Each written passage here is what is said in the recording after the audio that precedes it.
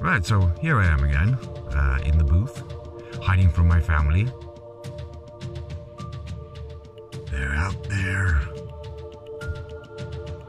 Yeah. So, um, what I wanted to do today was just uh, try out some voices and see what what kind of voices I can do and what they sound like. I wanted to ask you guys if there's uh, any specific.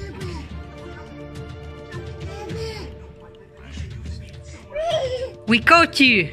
Yeah. You were supposed to be cooking dinner for us. So this is what happens when you work at home sometimes. Yeah. Say hi. Say hi to everybody.